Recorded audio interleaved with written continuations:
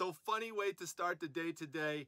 Yesterday, I had posted a YouTube thumbnail photo of me holding up this shirt that says, even my swag has swag. And I use the word swag in the title of the video in association with the negotiation tip that I was providing because that was the main theme. And I figured it would be funny to kind of cross the two together because this shirt was something that I had planned on mentioning that I was selling. The only thing is, in the beginning of the video, when I show this, I forgot to mention that I was selling it and I didn't mention it later on in the video, even though I filmed the clip that actually said that. Sometimes that happens when you edit, you forget to add something in. Well, sure enough, somebody comes across the video as soon as I post it, somebody who I've never seen before in the comments section, who indicates that he or she is annoyed that I use the word swag in the video. And I'm just laughing at myself because I'm thinking it's just a joke. But, you know, again, my video kind of lacked the context for somebody to really understand that. I put a comment uh, in the um, in the comment section. I pinned it to the top. And sure enough, Carol, the CEO of my Facebook group, the Facebook Reselling Resource Center, came in and purchased this. So consistent with yesterday's theme and to make sure I don't forget to mention that I'm going to uh, list this, Carol, that sale was nothing but awesome. So thanks so much. This is a, what do we got here? Is a Nike youth extra large. So I'll make sure I get that one up too. But uh, anyway, uh, yesterday I filmed a bunch of clips. I couldn't get everything into the video because there was just a bunch of stuff going on. So you're to see me show some stuff in the beginning of this video from yesterday, and then I'll integrate it with whatever we've got going on today. So uh, let me show you some stuff from yesterday, including something else I sold from my daughter, which was uh, some American Girl doll books, which she has outgrown. Let me show you them. So here we go. This is a little lot of 12 American Girl doll books. They sold for a total of $16. Look for them at garage sales. That's where you typically find them, and they'll ship out cheaply via media mail. So no sooner did I list those salt and pepper shakers that I showed you in the prior video with the handyman and the toolbox that they sold today for $25. It's uh, this set right here. I knew that this would sell fast uh, for a few reasons. Number one, uh, they are vintage. Number two, they are in excellent shape. Uh, number three, they are very hard to come by. This particular set just does not come up often at all. Uh, I saw no comparables uh, for it whatsoever. And lastly, um, all I needed is one person to come across this and say, oh, hey, that reminds me of my husband, or that reminds me of my dad, or my brother, or whatever, and they would want to pick that up. So I had it priced at $30 and Laura Cohn offered me 25 bucks for it and I took it like that. Uh, Laura, many of you know her. Uh, she has been in my Facebook group since close to the beginning, which is saying something because now we have over 18,000 members. That's the Facebook Reselling Resource Center. Uh, Laura was my first moderator uh, in the group and she still is a moderator so she's helped me a lot there and she also helps to moderate my YouTube channel and she's just super supportive overall in helping out uh, things in the primetime treasure hunter community. So thank you very much, Laura, and for all that awesome support. I definitely want to give you an overdue subscriber of the day. All right, so a couple things I want to show you here. This is 108 by 6 by 4 eBay boxes, I absolutely love these. They're great to ship out small items. So I'm gonna put these in the shed later on. Um, you could use your eBay store credit for these or just buy them straight out. They're definitely worth it. Uh, but this is the main thing that I wanna show you and this is why I have two ring lights. I really wanted to get this coat in the bright lights. I'm gonna open the door, have the natural light shining as well. And uh, these photos of the pink coat that I got at that estate sale recently for $5, it's really gonna pop when I get the white background on there and everything. It's gonna look good. Cha-Cha wears it well. So this is the first time me showing you the two ring light setup. So I'm taking another picture for a Mad Magazine lot I'm gonna post. This is a lot of 50 of them. And a lot of people ask me how I get this overhead display shot. Well, it's kind of like how I showed you when I was in the driveway taking the overhead picture of the Afghan. And right there, that's a little chandelier light that I've got to move to the side uh, to take this photo. But uh, basically, very simple. I just stand on a chair like that. Now, I don't recommend that for everybody. If you have balance problems, you know, if you're frail, do not do this. Um, it's a risk. It's a risk of falling. So only do it if you have proper safety procedures in place or you know uh, that you have pretty good balance. So what would be the solution if you don't want to or can't stand on a chair or you know a little ladder or something to take an overhead picture? Well, what you could do is you could purchase a camera that would uh, affix to the uh, ceiling or to some type of overhead uh, structure and then you could take top-down photos like that. So that would be uh, definitely a much safer way uh, to do it. And I wanted to show one Mad Magazine here to Jessie Shops because I know that she loves trolls. So uh, there you go. I figured you would like that one. All right, back in the shed and the mission is straight ahead into that plastic tote right there. Does anyone remember what's inside? Yes, it's the Peanuts glasses. That's right. From the Camp Snoopy collection, the promo through McDonald's. I had pulled these out during my shed reorganization video. And Mary McQueen, a longtime prime timer and big Peanuts fan, had wanted me to get these listed. Uh, so I just love these old glasses with the vintage cartoon characters on them and stuff. They're just really cool. I've had these for a while. I picked them up at a private estate sale pick. Uh, there's six in total with two duplicates. I'll put them together as a lot uh, because people will buy duplicates of them in case one breaks. They were sitting in a box in my shed for over a year. And then I moved the box into the shed here but had not opened them until the shed reorganization video. So it's like I say, you know, you've got to take stuff out of boxes to be able to see them because that's what will motivate you uh, to get them listed. So I will photograph all six of those together and have them up as a listing by the time you see this. Uh, back here in Salt and Pepper Shaker land, it's time to pull out another set, and my eyes went right to these colorful keel-billed toucans from Belize. You can see it says Belize there right on the front of the chest. It's very difficult to find uh, vintage salt and pepper shakers from Belize or any from Belize for that matter. So uh, hopefully someone uh, from Belize uh, will be interested in those. And then over here, you could see where I moved those 8 by 6 by 4 boxes. Uh, they come in these uh, little groups of 25. Uh, so I kept one behind at Primetime Treasure headquarters and left these three here. All right, Daisy, I got to go. You guard the fort while I'm gone, all right? Keep everything safe. I know you can do it. Give you some Mountain Dew later. So one of the places that I went to that day was the Dollar Tree. I wasn't looking for craft paper, but I wanted to show it to you because it's an option uh, for only a buck to get some wrapping paper. Although I usually get it at estate sales for next to nothing. But I was looking for a replacement, a trifold for my white backgrounds. Sometimes they get dirty. So you got to replace them every once in a while. Now, not the oak tag there and not the styrofoam pieces that you see here because these don't stand up by themselves. Now, a lot of times people can't find them because of what I'm going to show you here, you got to turn around, but sometimes people miss it because the brown is what's showing outwards when the flaps get turned in. But you just got to open them up and you'll see the white there, and that gives you a lot of flexibility. They stand by themselves. I love them.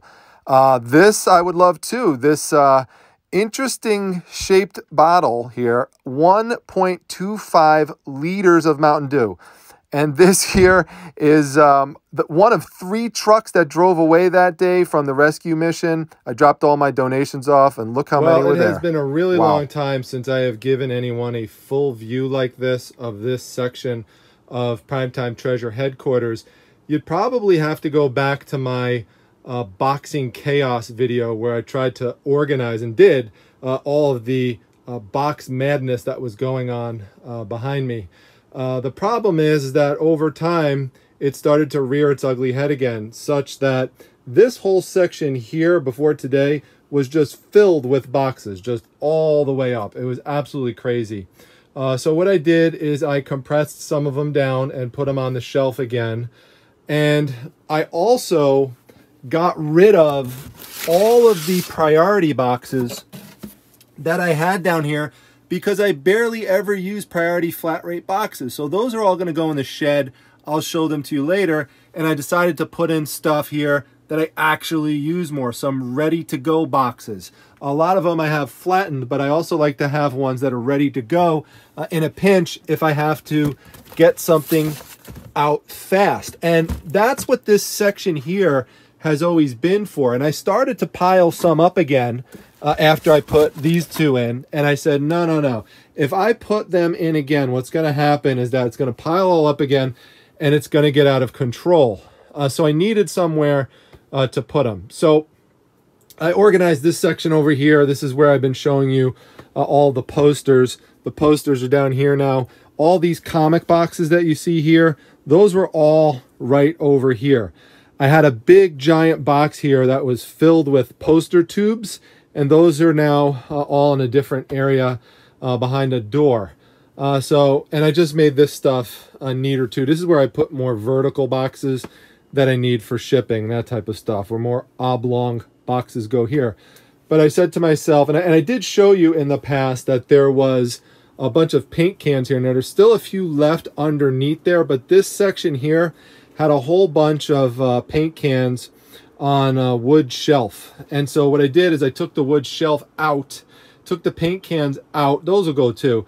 Um, and then I just stacked the boxes up here. Now I covered some of them up just to make them look nicer, but these are like, you know, ready to go boxes that are nested within one another. So, you know, there's some smaller ones down here as well. So they're all set and ready to go when I need them. Now there is a lot of additional uh, work to do. As you can see, I moved some stuff over to the side because Mrs. Primetime needs to get back here. Uh, that's where I put the poster tubes. Like you could still see like there's there's just chaos here. Like this is a, a view of some of the comic boxes that I have. This is all inventory that needs to get organized. So this, this is all going to be projects. I might as well get this on tape too. Uh, there we go. I've shown you on top of the refrigerator before. This is pretty chaotic. This all has to get reorganized also. So a lot of projects that you're going to see me uh, working on over the next few months or so uh, just to get things together. All right, so I moved some things in the shed like I told you earlier. So uh, let me show you what I'm talking about. This really helped me clear up some of that space down there. It was awesome because I just walked down into that space for the first time, just like freely walking into it. And man, what an awesome feeling it was. Just, I'll show you later. We'll go down there again. But um, so basically what I did is I actually found another one of these.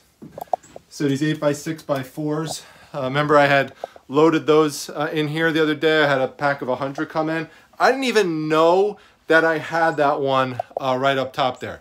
Didn't even, it was just like buried under something. So this is why you have to be organized because stuff just gets lost. Um, the priority boxes, these were on the bottom shelf of all of those uh, cardboard boxes. So this was taking up a lot of space. Now, there was actually more than that, more uh, priority boxes than that, but I just took out enough to fill that space there from top to bottom.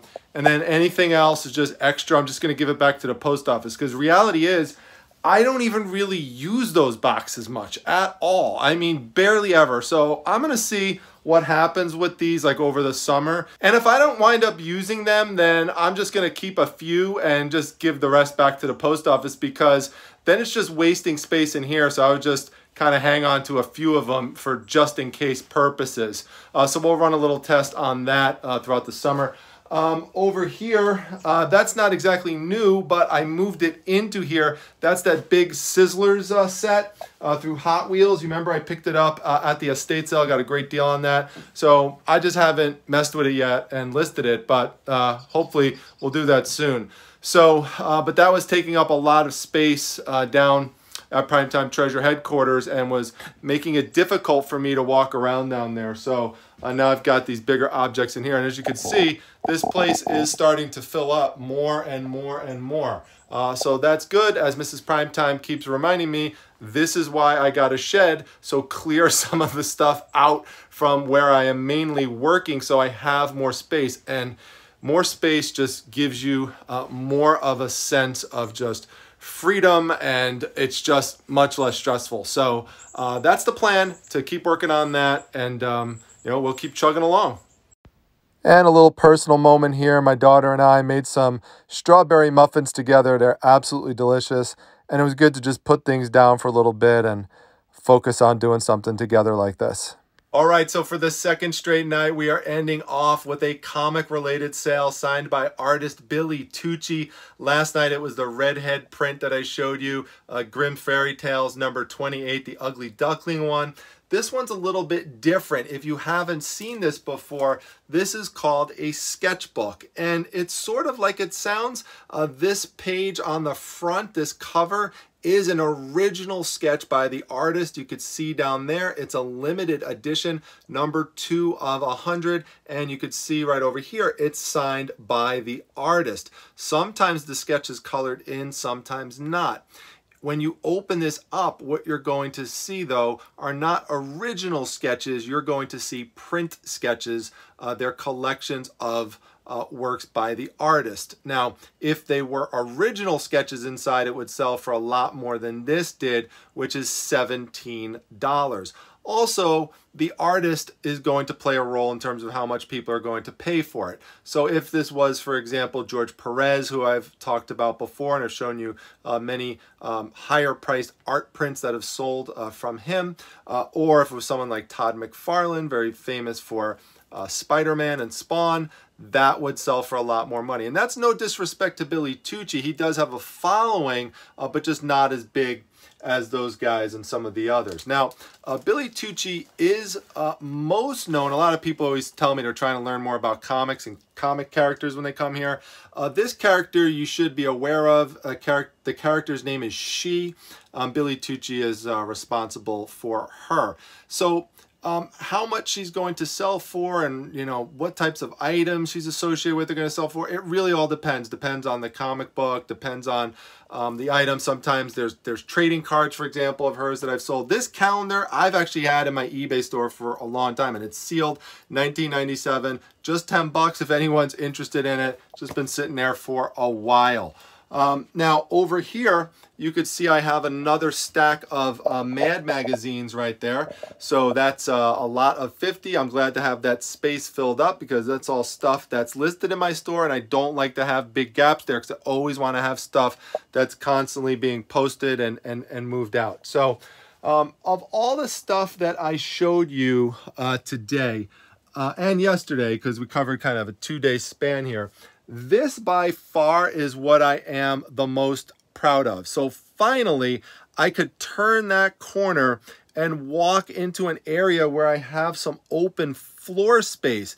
I don't have to just kind of you know, slide my way through boxes and hope that I don't tip things over. And trust me, many times I did tip things over. And that's just stressful when boxes are falling down all over the place. So at a certain point, despite how busy I am with all these different projects and stuff going on, I just had to finally say, all right, enough is enough. And I just got to get this, you know, fixed up. And, you know, same with over here. Like I just had to, I just eventually had to clear that stuff out. I've talked about for a while how to get those paint cans cleared out of there now they're out of there. Uh, but as you can see, I mean, there's just a lot of stuff that still needs to be uh, organized. There's just inventory all over the place. And so I'm looking forwards to documenting the process of how this is all going to get uh, fixed up. So, uh, you know, keep following along and, um, you know, come along for the journey, come along for the fun. I'm looking for your, uh, you know, your help in allowing me to do that. I mean, for example, people who have come by and have picked out a poster has helped me eliminate a lot of these posters from here